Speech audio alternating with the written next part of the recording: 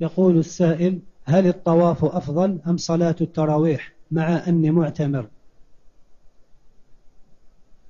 تجمع بينهما أحسن. صلي التراويح وتطوف بعد التراويح أو قبل التراويح.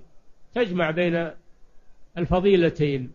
ولا تحرم نفسك من فضل صلاة التراويح أو من الطواف. تجمع بين المصلحتين. تصلي التراويح مع المسلمين وتطوف بالبيت بعد ذلك ما تيسر لك. نعم.